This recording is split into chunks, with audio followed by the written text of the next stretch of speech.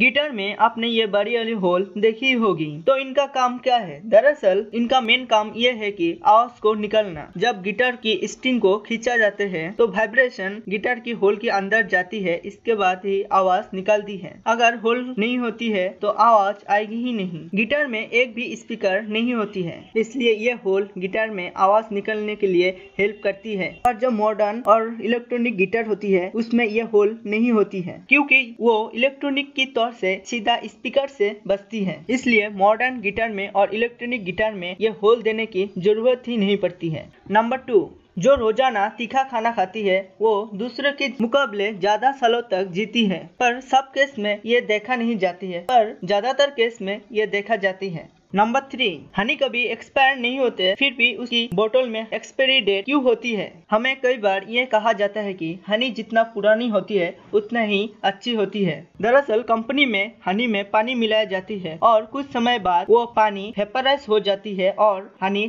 Jelly जैसी हो जाती है। हनी खराब नहीं होती है, पर हमें ऐसा लगता है कि हनी खराब हो जाती है, क्योंकि कमर्शियल प्रोडक्ट में एक्सपायरी डेट लिखना ज़रूरी होते हैं। बट एक्चुअली हनी कभी खराब नहीं नहीं होती है। नंबर फोर आपने ये चीज़ तो ज़रूर देखी होगी जिनके ऊपर ये लिखा होती है कि डू नॉट ईट ये देख के हमें लगता है ये पॉइजनस है इसलिए इसके ऊपर डू नॉट ईट लिखा होती है। लेकिन एक्चुअली में ये पॉइजनस नहीं हो, नहीं होती है। ये खाने से हमारे गले में अटक सकती है और डेथ हो सकती है इसलिए डू नॉट ईट लिखा रहती है। पर हमें इंस्ट्रक्शन फॉलो करना चाहिए। नंबर फाइव ये जो लेबर आपको दिख रही है ये अचानक से एक मॉडल बन गया है। एक दिन एक फोटोग्राफर की नज़र उसमें पड़ी। उसने उसको अच्छे कपड़े पहनाया और एक शूट कराया। ये फ़ोटो शूट इतना कमाल का हुआ कि ये एक मॉडल बन गया। So thank you for watching video अच्छी लगे तो लाइक करना चैनल को सब्सक्राइब करके बेल आइकन को ज़रूर प्रेस करना, क्योंकि ऐसे ही अमेजिंग फैक्ट की वीडियो इस चैनल पे अपलोड करते रहते हैं। तो मिलते हैं नेक्स्ट वीडियो में। सी यू सुन